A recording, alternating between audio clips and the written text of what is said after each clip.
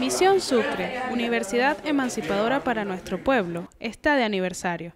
Son 11 años de esfuerzo colectivo de hombres y mujeres trabajando, planificando, estudiando en todo el territorio nacional para que esta iniciativa educativa sea hoy día una realidad. Hoy estamos acá, bueno, dando una serie de informaciones relacionadas con el onceavo aniversario de la Misión Sucre, 11 años caminando y haciendo realidad la municipalización de la educación, 11 años eh, contribuyendo a la transformación universitaria. Eh, nosotros estamos eh, planificando una serie de actividades en el marco de este onceavo aniversario, entre ellos un acto central que se va a realizar en el municipio Sucre, en la Plaza Sucre del municipio Sucre, eh, el día 10 eh, de septiembre, una ofrenda floral. También el día 12 del mismo mes eh, tendremos una asamblea de coordinadores de aldeas y el día 17 tendremos una convocatoria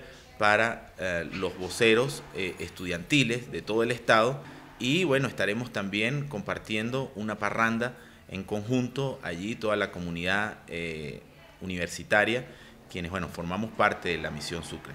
Y el 24 de septiembre estaremos nosotros eh, realizando 23 foros a nivel estatal, ¿no? uno en cada municipio. Estaremos realizando estas jornadas de debate y de discusión en torno a problemas medulares que tienen que ver con la transformación universitaria. Eh, hoy para nosotros es muy importante y grato eh, anunciar también que después de estos 11 años además de una serie de, un número de egresados importante, eh, cerramos este 2014-1 con una matrícula de 10.040 estudiantes, con 95 aldeas y con 185 estudiantes eh, de la misión Sucre que hoy día están privados de libertad.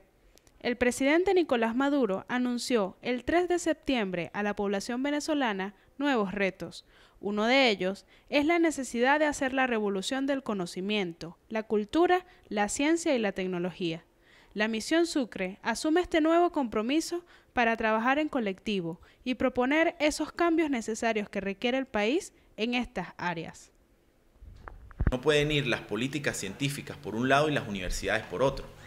Entonces consideramos que es muy oportuno este, esta fusión o esta amalgama que se, que se está impulsando porque comienza a haber coherencia en cuanto a la deconstrucción del conocimiento occidental que terminan reproduciendo las universidades tradicionales. Este, bueno, la misión Sucre juega un papel fundamental, no ya como un elemento para egresar compañeros, sino un, un espacio para reflexionar en torno al saber necesario, en torno al saber transformador, en torno al saber que precisamente viene a desmitificar estas viejas formas de hacer conocimiento.